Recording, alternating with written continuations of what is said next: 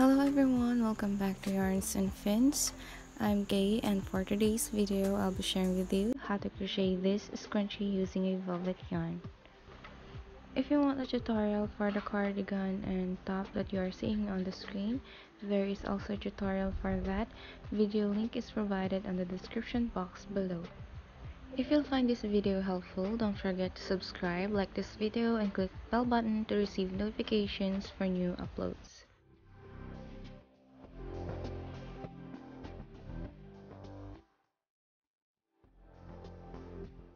To begin, grab your hair tie and attach a yarn.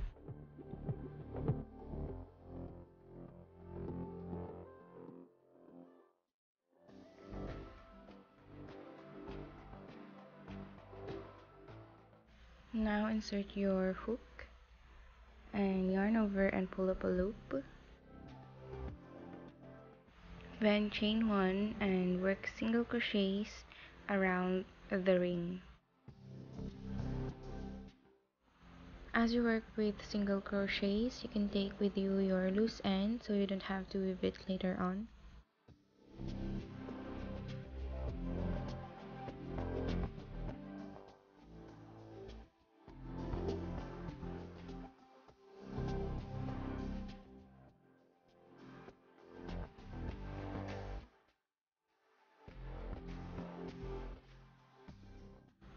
After a couple of single crochets and you still have a space left, add more single crochets. You can also try to stretch it out and determine if you still see the hair tie, you can add more single crochets.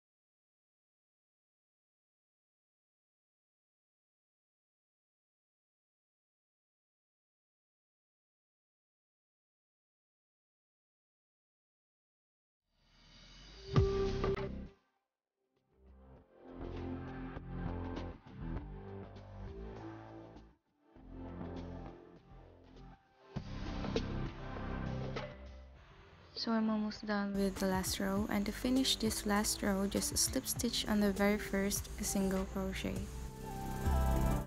Chain 1 to secure and cut the yarn and that's it we're done with our velvet scrunchie.